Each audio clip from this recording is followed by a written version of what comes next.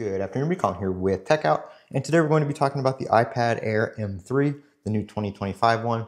Um, I picked this up last weekend, and I've been using it throughout the weekend and for the past almost a week now. Um, by the way, I just got a new desk light, so I'm going to be setting that up soon. So hopefully that'll get rid of this little uh, shadow that you guys get back right there from the monitor. Um, so hopefully the lighting will be a little bit better soon. But we're going to talk about the iPad Air. Like I said, this is the 2025 one. Um, there's not much of a change from the 2024 one, other than some you know processor upgrades, stuff like that. Uh, but everything else is generally the same. I did put a screen protector on this a couple days ago, so you can see that up there. Um, and I did get Apple Care on it, so it is protected. I'm not using it with a case or anything. I just use it as is with the screen protector. If I'm taking it somewhere, I took it somewhere today, just threw it in my backpack. It was perfectly fine.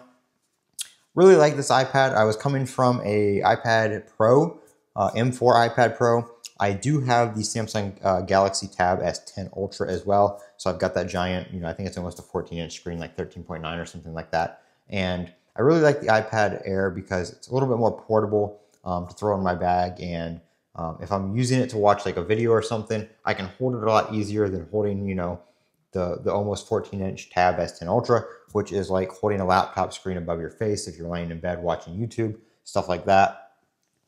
This is a lot more portable and comfortable to hold. I do like iOS apps over Android apps for some applications like X and stuff like that because it's a little bit more updated with the new swipe gestures and all that kind of stuff. Um, and this is really nice. Um, I don't need to spend a $1,000 on an iPad Pro just to watch YouTube, check X, and do that kind of stuff. I don't really do Final Cut Pro on the iPad anymore now that I have my uh, my setup with the M4 Mac Mini and my Apple Studio display. Um, I usually just use my computer for all that, and I don't really need all that extra uh, power on the iPad.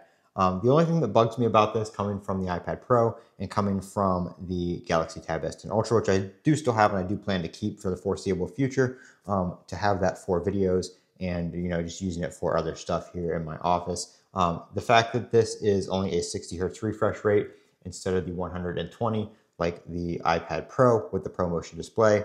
Um, I don't really mind the LCD versus OLED. Um, this is still a very nice, bright, colorful display.